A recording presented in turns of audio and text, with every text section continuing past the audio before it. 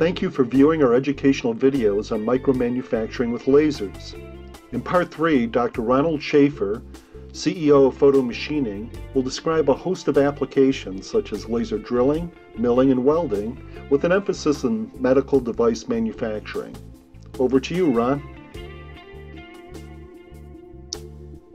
Thank you, Rick. Today we're going to talk about some applications. The first application area that we'll talk about is the application area of medical device manufacturing. And within that area, we do a lot of things like cutting, drilling, uh, milling, marking, and so on. This section includes what we call medical devices. It does not include surgical applications. So surgical applications are something that's completely different and which will not be addressed in these series. So let's get into the medical devices.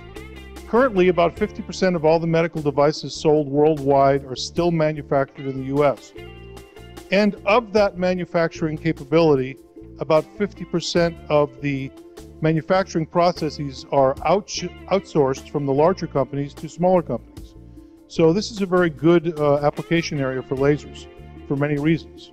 The requirements and the trends in the medical device uh, fabrication stream include accuracy, miniaturization, repeatability, impact on material, post processing, or hopefully the lack of post processing, automation, traceability, cost reduction, and compliance.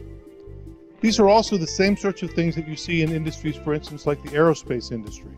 So, first, let's talk about milling. Micromilling examples include things like PZT grooving for ultrasound devices, um, grooving from micro, microfluidic devices, and you notice that there's an asterisk there. microfluidic devices are actually a very, very big and growing field, and we think this is going to be a very interesting uh, area for laser manufacturing in the future. Uh, most of this is done in exotic materials like glass. Some, of course, is done in plastic, but a lot of the microfluidics are done in glass, and this is a challenging material to work with for uh, other manufacturing methods. We also can work on micro machines, for instance, pumps like insulin pumps, uh, micro molds for injection molding, uh, lab on a chip devices, and also a host of different catheter operations, such as in this case, uh, in the milling case, the shaping of catheter tips. Some micromechanical parts that we can look at include on the top left a bioabsorbable stent that was processed with a 248 nanometer laser. On the upper right, we see a essentially a small chromatography column where the material is polyimide and the streets between the mazes are about 10 microns in width. And those parameters were varied so that we got a good flow of liquid through the device and it's an analytical device for pregnancy tests. On the bottom you'll see a small miniature gear that goes into an insulin pump this was cut with a laser in a plastic material. Uh, it is shown just as it comes off the laser, so there's a little bit of debris around the edges, which will come right off in something like an ultrasonic bath. And you'll see the size relative to a penny. Cutting. Lasers can also be used for cutting. Some examples include uh, the flat part OD and internal features. Uh, flat parts are very good to work with with lasers because you only need two axes of control. We cut a lot of things like gaskets, stents. Stents is a huge market area for lasers.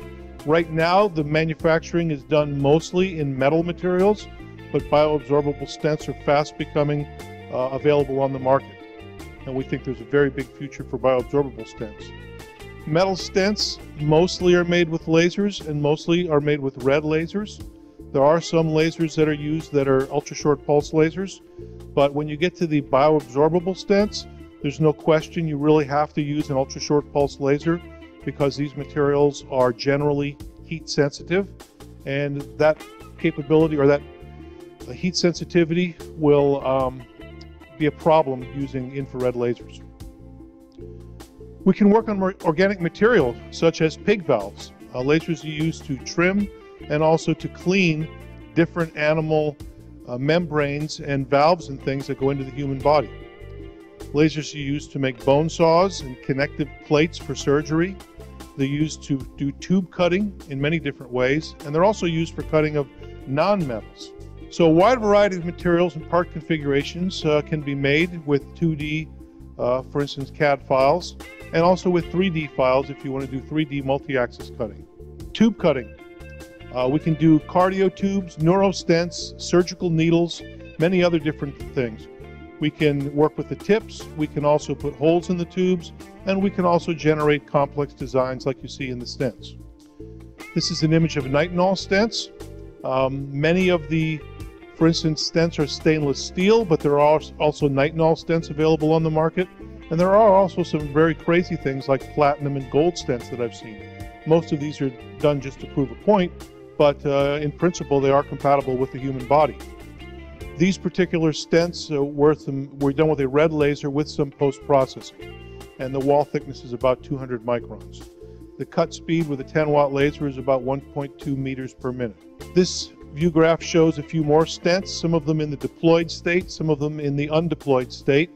And these stents are basically all made with lasers and are used in different uh, type of operations and they're stents that are manufactured by different medical device manufacturers. So the polymer stent, the idea behind the polymer stent is this.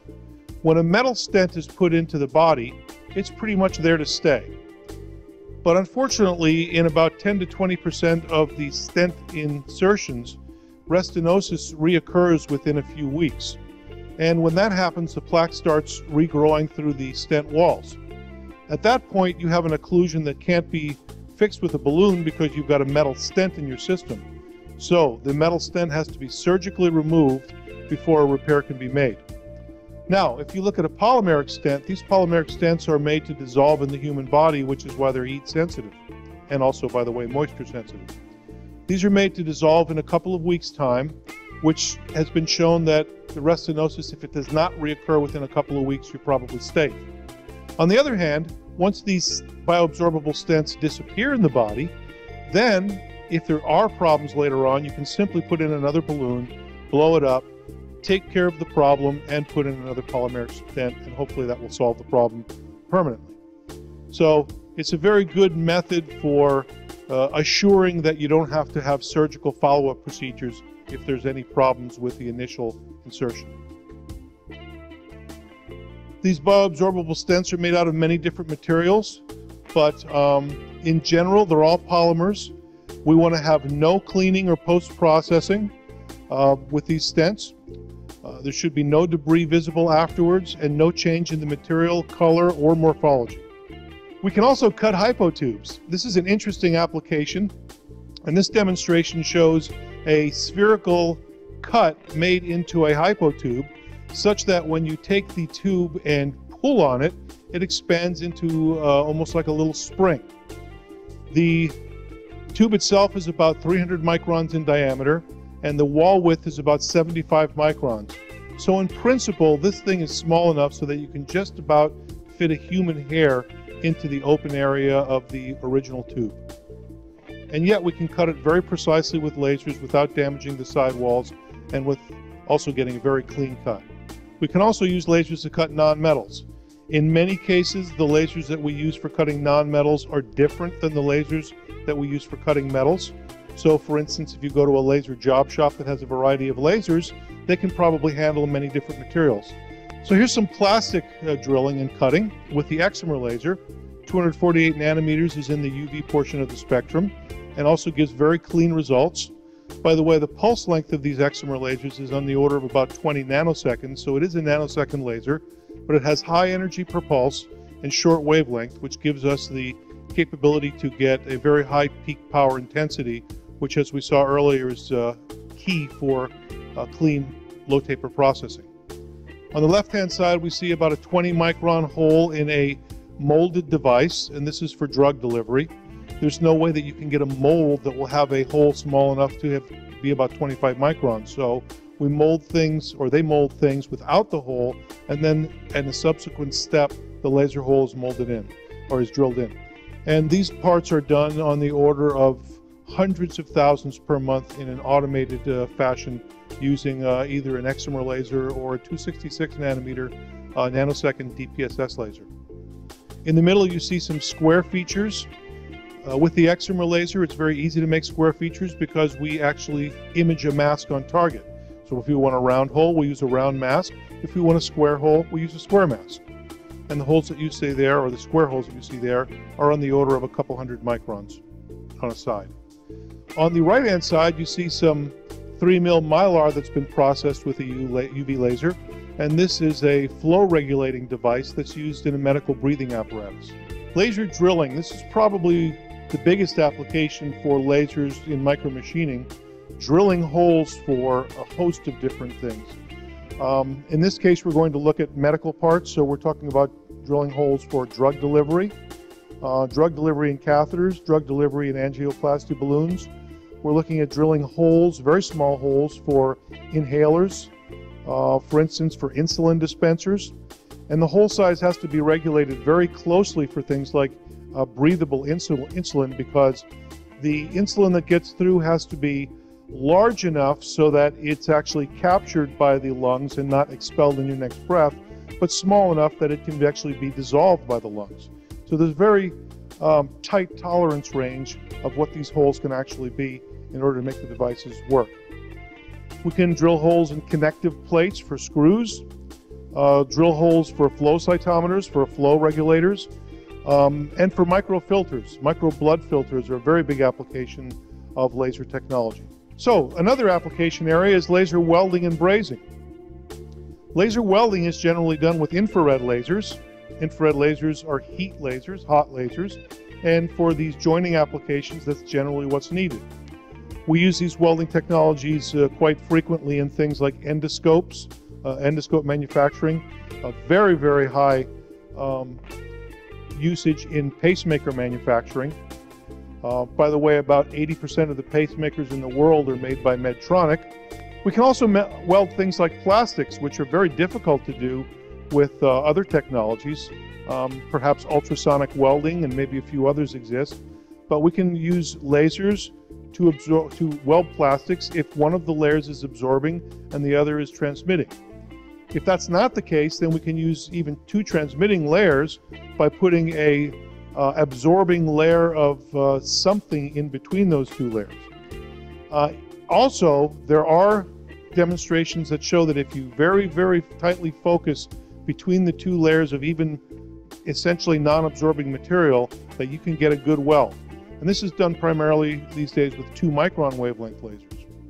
So there are many different applications for welding in the laser or laser welding in the medical device uh, arena.